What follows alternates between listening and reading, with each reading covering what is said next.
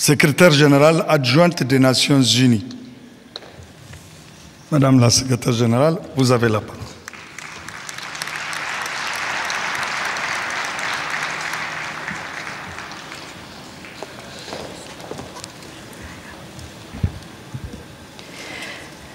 Your Excellency Mohamed Bazoum, the President of Niger,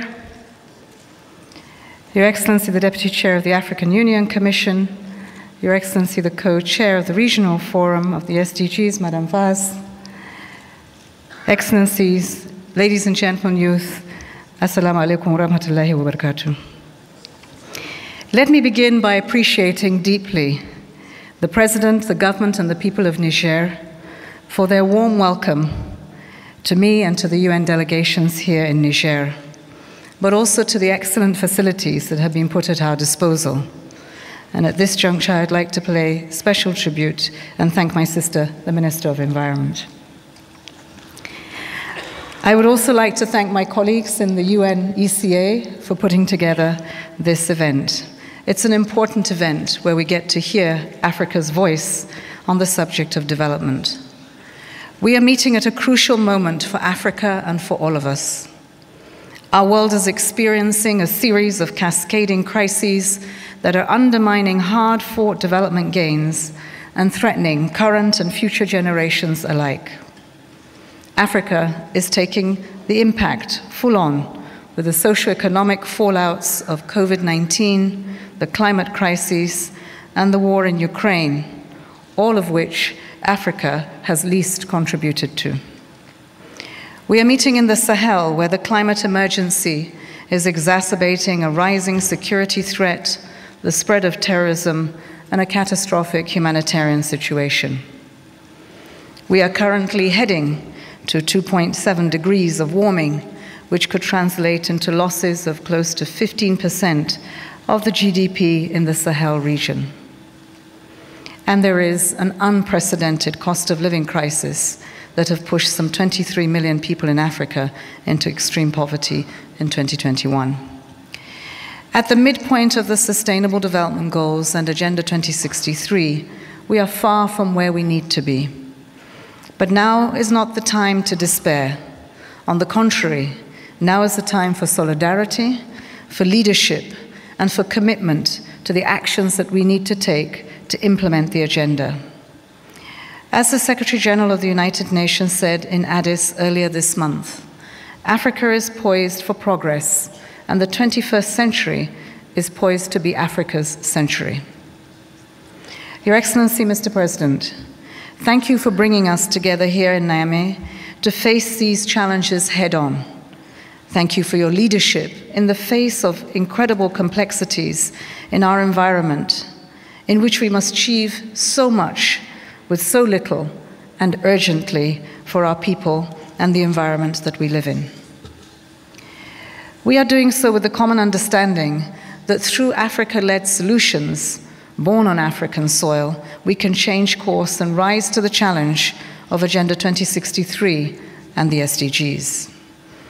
Intra Africa trade is rising in the region and the Continental Free Trade Agreement has the potential to lift 30 million people out of extreme poverty.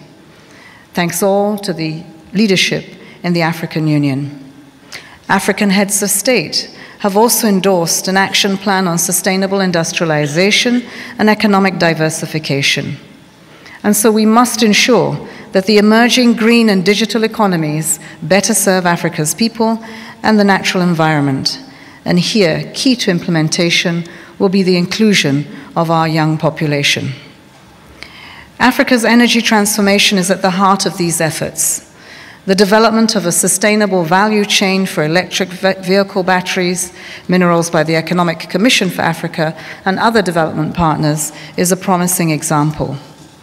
So, too, is the Congo Basin Carbon Credit Registry, which provides a platform to ensure high integrity carbon credit that are issued and strengthens African carbon markets.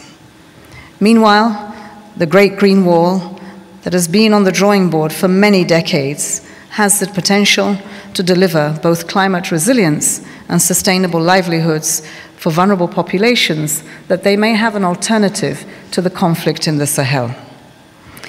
The proposed Great Green Blue Wall can secure similar benefits from effective management of the continent's marine and fresh water ecosystems. And this is important because as we have a conflict in the Sahel and in many other parts of Africa, so too do we see the rise of criminality in the Gulf of Guinea.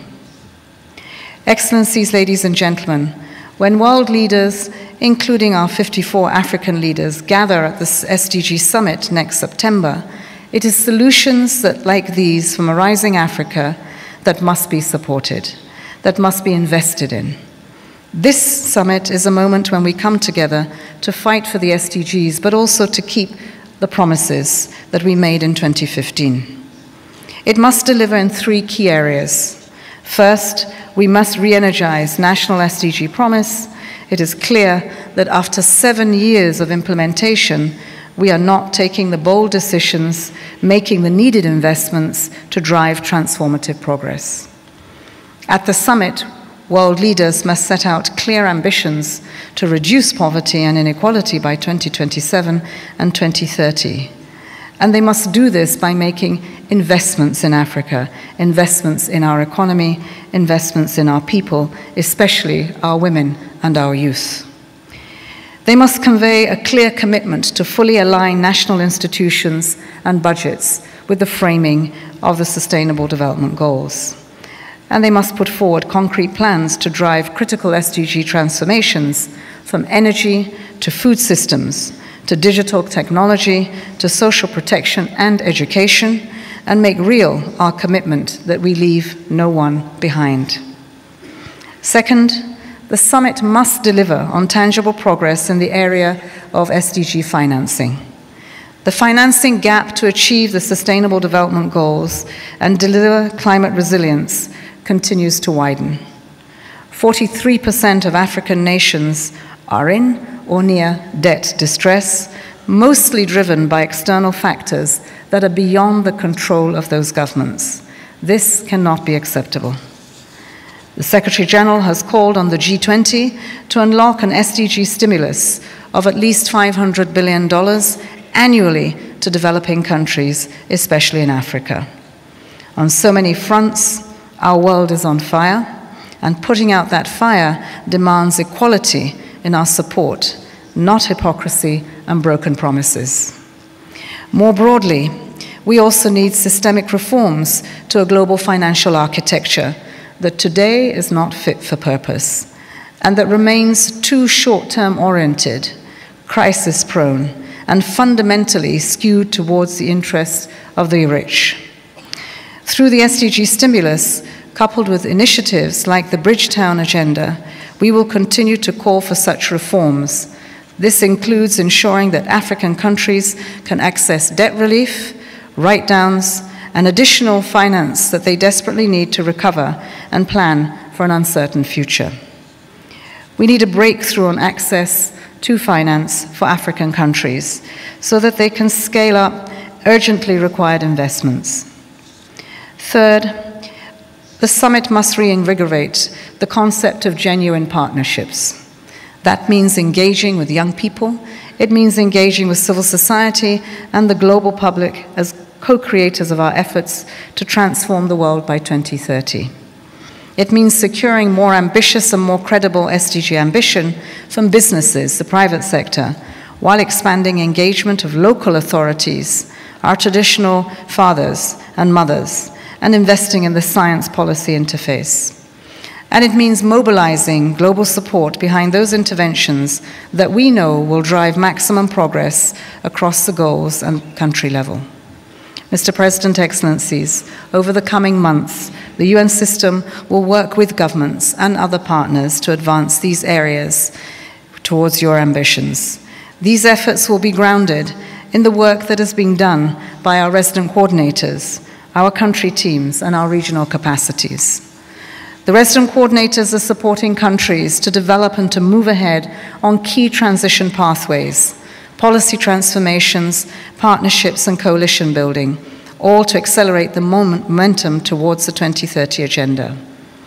It is important that we see the resident coordinators not only as coordinators of the UN system in your countries, but as conveners of the partners that will accelerate the progress towards the SDGs. The UN's regional collaborative platform will also meet here this week to continue strengthening our support of countries across the region. And so, Mr. President, today you have with you all the resident coordinators of Africa meeting here in Niger, and I hope that the resident coordinator of Niger will set the ambition and the speed at which we need to reach the SDGs. You can count on our full support and collaboration. Finally, Excellencies, the 2030 Agenda and the 20, Agenda 2063, these represent our roadmaps to peace and to prosperity. And in 2023, as we decide whether or not we will travel that road, let us use this ninth Africa Forum on Sustainable Development as an opportunity to chart ambition. I look forward to these fruitful deliberations and, and the outcomes that are influenced by Africa's ambition that we can take to the series of meetings at the summit in New York and at the COP28 in the United Arab Emirates. I thank you. Bisalam.